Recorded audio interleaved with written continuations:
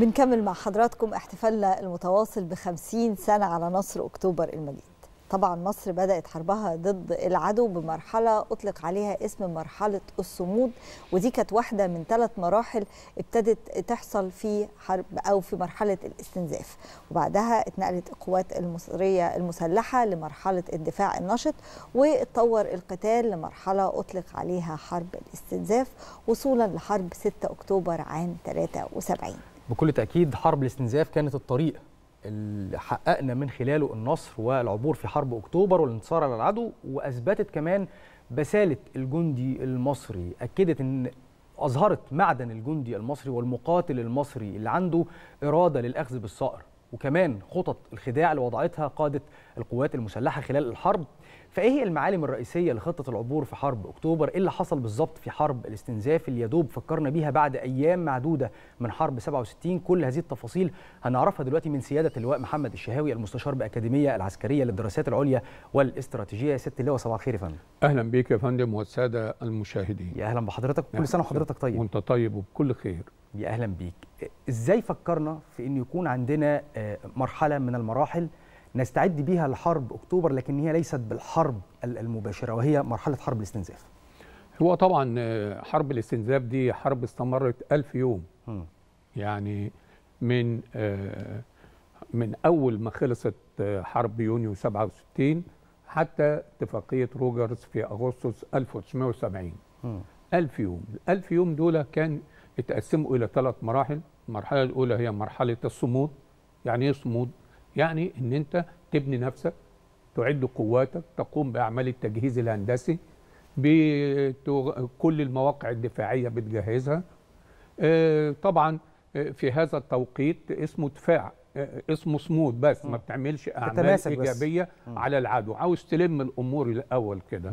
المرحلة الثانية وهي الدفاع النشط. الدفاع النشط ده بتنتقل بقى تقوم بأعمال عمليات إغارة على العدو الإسرائيلي. وعايز أقول لحضرتك إن حرب الاستنزاف كان لها هدف والهدف ظهر في الدفاع النشط. إيه الهدف؟ الهدف هو كسر حاجز الخوف ما بين الجندي المصري والجندي الإسرائيلي. إحنا طبعا خارجين من حرب 5 يونيو 67 هذه الحرب كان في يعني هزيمة قاسية. هناك معدات عسكرية مدمرة هناك شهداء هناك جرحى. وبالتالي إزاي إن إحنا نكسر الحاجز الخوف ده؟ كانت في الدفاع النشط. يعني إيه دفاع نشط؟ يعني مثلا بتقوم بأعمال دوريات وأعمال إغارة من القوات من الصعق الأول ثم من القوات اللي موجودين في الحد الأمامي. في لواءات موجودة في تجهيزاتها الهندسية تحت الأرض م. وفي الخنادق وفي الحفر البرميلية. إزاي إن إحنا نقوم بالإغارة ونعبر قناة السويس ونروح للشاطئ الشرقي ونحقق خسائر في العدو الإسرائيلي نجيب أسير يتم قتل الكثير منهم. معرفة التجهيزات الهندسية بتاعتهم إيه؟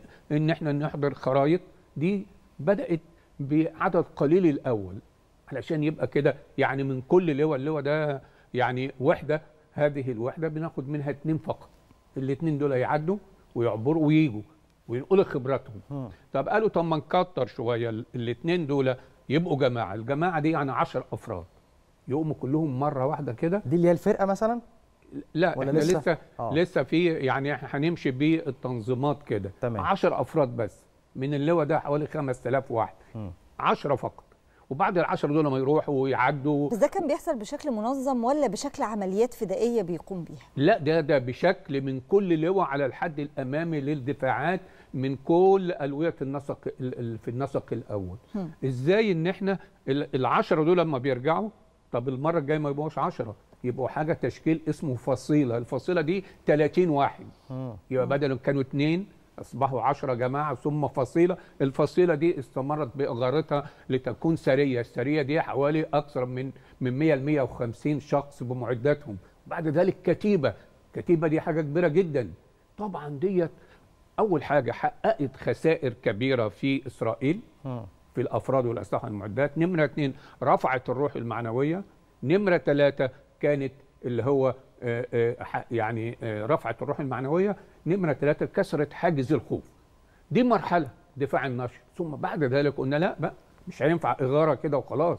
ده إحنا عاوزين نقول لإسرائيل إن كل يوم أنت قاعدة بيه فيه في سينا ده هيكلفك خسائر كبيرة.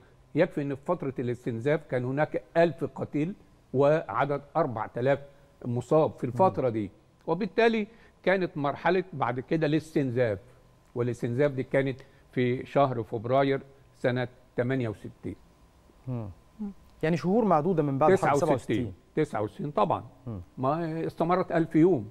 فالقوات المسلحة قامت بخطة كبيرة. هذه الخطة هي بتقوم بعملية إن إحنا المدفعية تضرب على خط بارليف ده كله. تدمر خط بارليف طبعا في هذه الفترة اللي هي فترة الاستنزاف إسرائيل ما قدرت ما قدرتش إن هي تستوعب كل تلك الخسائر وبدأت تقوم إن هي تخلي الولايات المتحدة الأمريكية تتجه إلى الحل السياسي من خلال وزير الخارجية الأمريكي ويليام روجرز وهي بنقول عليها آه، يعني مبادرة روجرز وكانت في أغسطس سنة 1970 ما قدروش يستحملوا كل تلك الخسائر. وبعد ذلك عاوز أقول إن فترة الاستنزاف دي إحنا استفدنا منها كتير جدا إن إحنا استكملنا معداتنا وعملنا ما يسمى بالتطعيم للمعركة، إيه تطعيم للمعركة؟ أنت بتخش معركة حقيقية. وبالتالي عندما جاء يوم 6 أكتوبر كانت القوات المسلحة أعدت التخطيط والإعداد للحرب وكان اعدادا مصريا خالصا لأن يعني في إطار خطة الخداع الاستراتيجي والتشكيك في إن العملية مش هتبقى مشتركة ما بين مصر وسوريا ضد إسرائيل. كان طرد الخبراء الروس من مصر ووجودهم في سوريا. دليل إن ما فيش تنسيق بين مصر وسوريا في ذلك. ومن خلال خ... هذه خطة الإخفاء ومن خلال التدريب على العبور لسنوات عديدة كان الاستعداد لهذه الحرب اللي إحنا بنحتفل بالذكرى الخمسين لحرب أكتوبر المجيدة علشان تبث في نفوس الأجيال اللي موجودة والأجيال القادمة معنى آه، آه، التضحية ومعنى الفداء. وعاوز أقول لحضرتك إن حرب أكتوبر المجيدة ديت بالرغم من مرور خمسين عام ما زالت تفيض بالأسرار وبالفكر العسكري وبالتخطيط العسكري للحرب وما زالت تدرس في أكبر المعاهد والكليات العسكرية في العالم. سياده اللواء عدينا بشكل بانوراما كده على مرحلة الاستنزاف. لكن خلينا ناخدها بقى إيه بالمراحل اللي عدت بيها. لو ابتدينا من أول معركة ابتدوا بيها على طول راس العش مرورا بقى بالمعارك اللي كان الهدف منها إعادة الثقة للجيش المصري سواء بقى معركة المدفعية اللي, عملتها آه، رمانة وبلوزه بعدها ال- العمليات اللي. قامت بيها تمام. آه، المخابرات المصرية بالتنسيق مع وزاره الدفاع في ذلك الوقت أو آه، الجيش المصري. يعني حصل كتير من العمليات مرورا بقى طبعا بإيلات سواء الحفار أو العملية آه، كنتن كلهم. آه، إزاي كل ده حصل في وقت ال- ال- ال- آه، الجنود الاستنزاف. آه الجنود تعبانة و- و- و- ثقتها في نفسها مش أحسن حاجة والشعب نفسيته ما كانتش مظبوطة وما كانش آه، حاسس إن هو هيحارب. أنا عاوز أقول إن في حرب أكتوبر كان البطل هو الشعب المصري لأنه وقف وراء القوات المسلحة قدر انه يتحمل إن الاقتصاد بدل ما يكون اقتصاد آه، بقى اقتصاد لل للتأمين العسكري وبالإمداد بالمعدات اللي موجودة. وبالتالي كانت هناك بعد أسبوع واحد من حرب أكتوبر من حرب 67 كانت هناك معركة رأس العش والتي أثبتت مدى جاهزية المقاتل المصري وشجاعته وقوته وإن ما حدث ده كان إحنا ما دخلناش حرب. ده هو يدوب اتدمر الطيران المصري في هذا اليوم في علشان وعلشان كده بيقولوا حرب ست ساعات. لكن بدأ التخطيط الجيد في عملية ما تسمى بتدمير المدمرة إيلات. إزاي؟ أن قطعة بحرية لانش صواريخ يدمر قطعة بحرية غيرت في المفاهيم العسكرية اللي موجودة. أيضا الذكاء معركة الذكاء المصري والخداع كان لها دور كبير أيضا في تحقيق نصر أكتوبر. إيه معركة الذكاء؟ كان هناك ما يسمى بالقوة الذكية. مصر استفادت من قوتها الذكية اللي هي عبارة عن قوتها الناعمة والقوة الصلبة القوة العسكرية. الاثنين اجتمعوا مع بعض وادانا القوة الذكية. تمثلت في إيه؟ التخطيط والإعداد الجيد للحرب ثم الاستفادة بالأفكار والعصف الذهني والاستماع للمرؤوسين. وعشان كده طلعت في هذا الذكاء حاجات اختراعات بسيطة جدا. إزاي؟ إن ساتر ترابي ارتفاعه 22 متر يتم فتح ثغرات فيه من خلال ما يسمى بمضخات المياه. واللي قال الفكرة دي هو كان مقدم في ذلك التوقيت باقي ذكي يوسف في ذلك التوقيت. يعني ضابط صغير. إزاي إن القيادة العسكرية تستمع ليه؟ ودي بتدينا رسالة لكل مؤسسات الدولة مش القوات المسلحة بس نستمع للعاملين اللي موجودين والموظفين الموجودين هيقولوا أفكار جيدة جدا. أيضا كان من الذكاء المصري أيضا في مجال الحرب الكيميائية إن هم اخترعوا مادة جديدة ضد الحريق لأن إسرائيل في إطار الحرب النفسية كانت بتقول إن هي هتشعل قناة السويس نار. النار دي درجة حرارة عالية تصل إلى 700 درجة مئوية وارتفاع لهب 5 متر وكانوا هم بي- بيقوموا مثل تلك التجربة في الميكروفونات من الشاطئ الشرقي. يقولوا يا مصريين هنحرقكم في النار دي. دي في فترة إيه؟ في فترة ال- الاستنزاف. علشان يأس وإحباط وتقول مش يعني مفيش فايدة. لكن لا. الجيش المصري لا يعرف المستحيل. وإزاي إن الحرب الكيميائية التي أشرف بأنني رئيس أركان الحرب الكيميائية الأسبق اخترعت مادة. المادة دي يتم معالجة أفرولات الجنود بها قبل الحرب بحيث لو جت عليها نار ما تحرقش. والقوارب المطاطية في موجات العبور الأولى ده مطاط يعني أي نار هتحرقه. يتم تغطية هذه المادة. ده كانت يعني خطة من الخطط التي تم اتباعها لتلافي الحرب النفسية الممثلة في المانع الحارق كان هناك رأي آخر يتم تدمير الخزانات اللي فيها النابالم ده. هي عبارة عن خزانات متصلة زي الإيد كده متصلة بمواسير. هذه المواسير بتدفع على سطح قناة السويس يتم إشعالها تطلع نار. يقولوا بقى. يقولوا يا مصريين مش هتعدوا هتتحرقوا في النار دي كل ده تقوية لصورة المصريين قدام العالم الفكر، وإضعاف. الذكاء للصورة الذهنية اللي كان المصري. بيحاول العدو بس اسمحي لي إن أنا عاوز بس ده. أقول حاجة صغيرة في هذه النقطة اللي هو المانع الحارق اللي بيدل على الحرب النفسية التي ما زالت الحرب النفسية ضد مصر برضو عندنا شائعات كثيره وحرب نفسية في كل التوقيتات لكن في حرب أكتوبر إن تم التغلب عن س... عن هذا المانع الحارق بإن إحنا في الليلة السابقة للهجوم الصعقة البحرية بتقوم بسباحة قناة السويس تحت المية عشان ما يتشافوش بالليل ويتم بسد كل هذه الفتحات. إيه الفتحات دي بقى؟ فتحات؟ كام فتحة؟ اللي هتطلع اللهب آه. على طول المواجهة 3333 فتحة ماسورة 6 بوصة.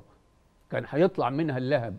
إزاي كلها تتسد بماده شديدة الصلابة لا تتأثر ولا تتحلل بالمياه؟ ويجي الصبح العدو الإسرائيلي كان كل يوم الصبح يشغل ويفحص هذه التجهيزات. ما عدا يوم 6 أكتوبر بدل الساعة 7 الصبح كان الساعة 11 لأنه كان يوم سبت ويوم عيد الغفران. يعني بيريحوا شوية في هذا اليوم زي يوم الجمعة كده عندنا. فبالتالي جم يشغلوا هذه التجهيزات لم تعمل. استدعوا الصيانة من تل أبيب عندما أتت كانت الحرب اللي هي حرب أكتوبر المجيدة اللي أنا ب- بقول عليها سيمفونية. سيمفونية لأنها كانت معركة تسمى معركة الأسلحة المشتركة الحديثة. إزاي ضرب الطيران بقوة 200 طائرة في وقت واحد؟ إزاي تمهيد نيراني مدفعية تضرب في 53 دقيقة عدد 3000 طن بإجمالي 121 ألف دان في 53 دقيقة؟ بمعدل 10500 قذيفة في الدقيقة الواحدة و175 قذيفة في الثانية الواحدة. مم، تمام. طب لما ال- الحمم دي كلها بتيجي على خط بارليف الإسرائيليين هيروحوا فين يا أستاذ محمد؟ بيروحوا في الخنادق وفي الملاجئ بيختفوا في فترة ال 53 دقيقة مصر والجيش المصري قام ب عمل عسكري في الساعة دي. ما هو ما فيش حد بقى إسرائيل كلها في الخنادق وكلها في الملاجئ. فبالتالي قامت بقى بإزالة الألغام اللي موجودة في الساتر الترابي فتح الثغرات في الساتر الترابي موجات الاقتحام الأولى دفع ما وراء خلف الخطوط من قوات الصاعقة فبالتالي كانت بقول عليها سيمفونية حرب أكتوبر. كان صحيح. فيها قوة ذكية كان فيها ذكاء معركة ذكاء مصري تمثل هذا الذكاء أيضا في عبقرية اختيار توقيت ساعة الصفر. صحيح، ليه شهر أكتوبر وليه يوم 6 أكتوبر من 7 أو 8 وليه الساعة الثانية ظهرا وليس أول ضوء الساعة 6 أو آخر ضوء الساعة 6 مساء. ده نتكلم عنه إن شاء الله في في حلقات جاية لأن تغطيتنا ما زالت. مستمرة لكن دلوقتي إحنا بنتكلم عن حرب الاستنزاف. نعم. ما ينفعش ابدا نتغافل عن دور الشهيد البطل إبراهيم الرفاعي. والمجموعة 39 قتال. اللي قامت مجموعه كبيرة جدا من العمليات وساهمت بشكل كبير جدا في تحقيق هذا النصر الكبير. هو طبعا الشهيد الرفاعي طبعا ده هو أستشهد في حرب أكتوبر المجيد. مم. آه، طبعا قام بعمليات كبيرة جدا. آه، دي كتيبة من مجموعة قتال مجموعة من الصاعقة كان لها دور كبير في عملية حرب الاستنزاف إن هي عندها الجرأة والجثارة إن هي تعمل خلف الخطوط العدو. تعمل على خط بارليف عندهم فدائية وقوة وبالتالي كل ما يقوموا بعملية ناجحة ده بيساعد في رفع الروح المعنوية.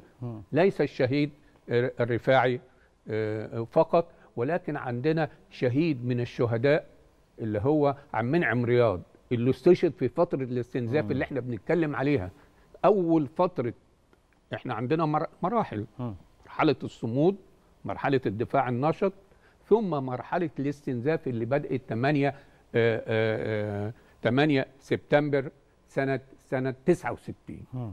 اليوم ده المدفعية قامت بأعمال كبيرة جدا وقذفات لتدمير خط بارليف تاني يوم الصبح وهو رئيس أركان حرب القوات المسلحة المفروض مكانه في القاهرة. لا ده طلع يتابع أعمال القتال على الحد الأمامي للدفاعات على في معدية نمرة 6 بينه وبين العدو حوالي 170 متر عرض القناة فقط.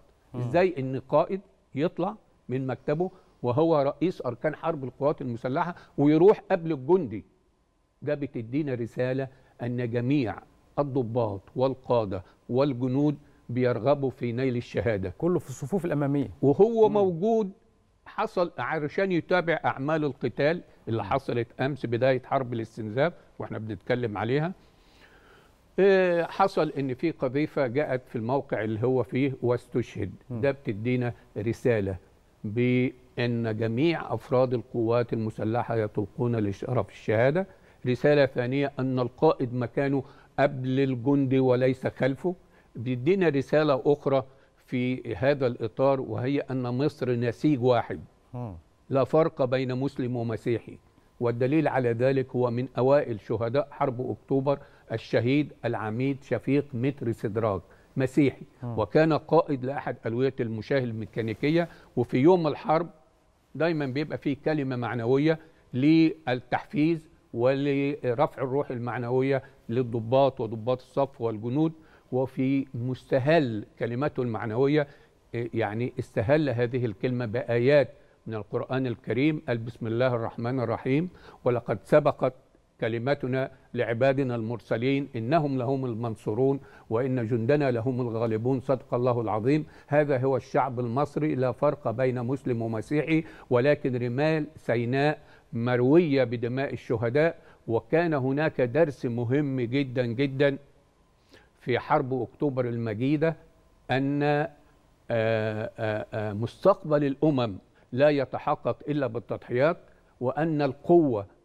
الدولة والقوات المسلحة بتعزز قدراتها آه، القتالية العسكرية وبتنوع مصادر التصليح. القوة هي مصدر الأمان والضعف دعوة للعدوان. وإذا أردت السلام فتأهب للحرب. من اللي قال المقولة دي؟ إذا أردت السلام فتأهب للحرب. الملك تحتمس الثالث في معركة مجده في سنة 1418 قبل الميلاد يعني من 3441 سنة. ده بيقول لنا إن العسكرية المصرية راس ضاربة بجذورها إلى يعني أعماق كبيرة في الأرض ومستمرة وأن القوات المسلحة دائما هي ما تحمي الأمن القومي المصري ولها شعار يد تبني ويد تحمل السلاح.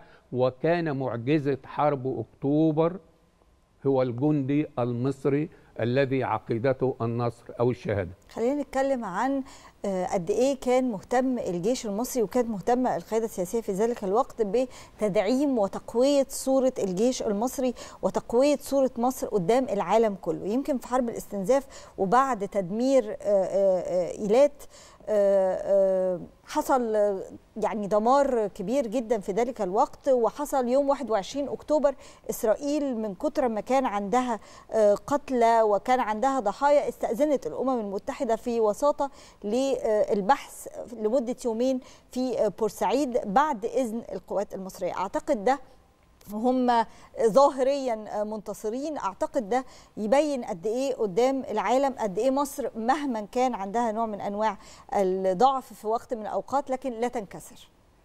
هو طبعا زي ما حضرتك قلت فعلا في كل مراحل أو على مر العصور الجيش المصري دائما ما يكون له هدف. هذا الهدف هو يعني تطبيق قواعد الاشتباك. حتى زي ما سيادتك بتقول المثل دلوقتي في يوم في 20 أكتوبر وكان سنة 67 وكان المدمرة إيلات وعدد 500 جندي في المدمرة في البحر خلاص والمدمرة يعني غرقت واتدمرت. وإزاي إن مصر يعني أوقفت الأعمال القتالية حتى يتم العثور على جثمان هؤلاء القتلى الإسرائيليين. حتى إن في سنة 400 يعني في في الحرب ضد الإرهاب الحرب ضد الإرهاب أيضا كان الجيش المصري عندما يقوم بمحاربة الإرهاب ليس اليوم ولكن منذ زمن كان دائما العدو والإرهابيين بيخلوا السيدات النساء والأطفال في المقدمة. فكان الجيش المصري يعمل إيه علشان ما يأثرش على هؤلاء اللي هم أساسا هم جايبينهم وحاطينهم كده لا يكونوا فداء ساتر. ويكونوا ضحايا. كان بيجيب الكلام ده من فترات طويلة وليس في اللي هو العملية الشاملة سيناء 2018 كان يجيبوا سلالم عالية كده والجنود يتسلقوا هذه السلالم علشان يقتلوا المقاتلين الذين خلف هؤلاء الأطفال وخلف هؤلاء السيدات. وبالتالي بيبقى هنا تطبيق قواعد الاشتباك الاشتباك ديت ده يعني محور رئيس في عمليات القوات المسلحة. القوات المسلحة والجندي المقاتل اللي استطاع إن هو يحرر سيناء بحرب أكتوبر المجيدة هم هم القوات المسلحة اللي استطاعوا أيضا أن يطهروا سيناء من الإرهاب والإرهابيين. صحيح. وكانت مصر لها يعني سلاح جديد في القضاء على الإرهاب يا أستاذ محمد وهو التنمية. مم. تقوم بأعمال التنمية بالإضافة إلى عمليات العمليات الأمنية والعسكرية مما جعل دول ذات مركز ثقل عسكري كبير ترغب في تنفيذ التدريبات المشتركة مع مصر وكان آخرها وبيتزامن مع الاحتفال بالذكرى آه، آه، الخمسون لحرب أكتوبر المجيدة التدريب المشترك النجم الساطع 2023 34 دولة على أرض مصر 8000 مقاتل. أيضا بيتزامن هذه الذكرى أيضا بالنهضة اللي إحنا شايفينها قوافل التنمية والعمران اللي موجودة في كل ربوع الوطن خلال الفترات السابقة. مم. 30 ألف مشروع بيتكلفوا أكثر من 8 تريليون جنيه. وبالتالي بنلاقي إن جهود القوات المسلحة اللي هي بتحمي كل الاتجاهات الرئيسية في مصر تحمي الأمن القومي مصر الأمن القومي العربي. شفنا ما يحدث من القوات المسلحة في يعني آه، مساعدة والنهوض لمعاونة آه، آه، قواتنا في في ليبيا من خلال يعني ما شفناش دولة قامت بمثل ما تقوم به مصر في هذه صحيح. الأزمة أزمة الإعصار دانيال في في ليبيا طيب أخيرا سيادة اللواء العامل النفسي مهم جدا في إنك ترفع الروح المعنوية للمقاتل المصري. ده شيء مهم جدا إزاي اشتغلت عليه القيادة في القوات المسلحة. وعلى الجانب الآخر الحرب النفسية هي الأخرى مهمة. فإزاي ساعدتنا حرب الاستنزاف في ده؟ هو طبعا الحرب النفسية آه، دي آه، كانت إسرائيل بتستخدمها بكثافة كبيرة في حرب الاستنزاف. ولكن إحنا عندنا تطعيم لمثل ذلك هذه الحروب. التطعيم من خلال العقيدة. عقيدة المقاتل إن كان ضابط أو ضابط صف أو جندي هو عقيدته يا إما ينتصر يا إما الشهادة. وبالتالي بيجابه كل تلك الصعوبات بيبتكر حلول غير نمطية من خلال العصف الذهني ومن خلال الأفكار التي تساعد في حل تلك المشكلات والمصاعب. لعلم حضرتك كان يوجد عشر مصاعب أمام المخطط المصري قبل حرب أكتوبر منهم مصاعب هي كيفية مواجهة الحرب النفسية اللي موجودة. منهم مصاعب إزاي الساتر الترابي ده يتم اختراقه. منهم م- صعوبة مهمة جدا لو إسرائيل أشعلت قناة السويس إزاي إن هو يجابه ذلك. في صعوبة زي إن دبابات العدو اللي موجودة شرق القناة هتأثر على قواتنا أثناء العبور ولذا وفي هذه ال- ال- المنطقة عايز أقول إن ظهر إن إحنا نحيد هذه الدبابات من خلال إرسال قوات صاعقة ومعاهم أر بي جي فقط ومعاهم ألغام علشان يوقفوا هذه الدبابات. وب يعني أتذكر شهيد. الشهيد ده اسمه اللغم البشري. إيه اللغم البشري ده؟ اللغم البشري ده إحنا نعرف إن الألغام هي مواد متفجرة بتضع في الأرض تيجي دبابة تيجي عربية. فتنفجر. تنفجر. طيب إحنا خلصنا الذخيرة وأثناء العبور ويوم 6 أكتوبر. فما كان من جندي اللي إنه حط لغم على ظهره وزحف. والدبابات جاية من طريق نام في الأرض علشان الدبابة تيجي فوقيه مش جاية تهزر معاه. ده هيستشهد وينفجر وتنفجر الدبابة.